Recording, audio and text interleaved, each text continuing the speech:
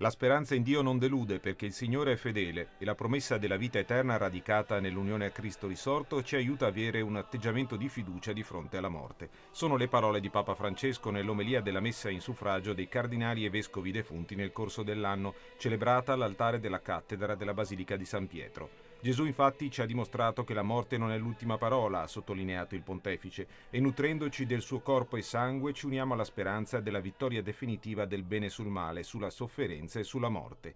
Legati così a Cristo sappiamo che la comunione con i defunti non rimane solo un desiderio, un'immaginazione, ma diventa reale. La fede che professiamo nella resurrezione ci porta ad essere uomini di speranza e non di disperazione, uomini della vita e non della morte, perché ci consola la promessa della vita eterna radicata nell'unione a Cristo risorto.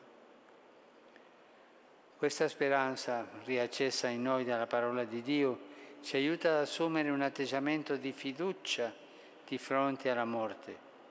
Infatti Gesù ci ha dimostrato che essa non è l'ultima parola, ma l'amore misericordioso del Padre che ci, che ci trasfigura e ci fa vivere la comunione con, con Lui.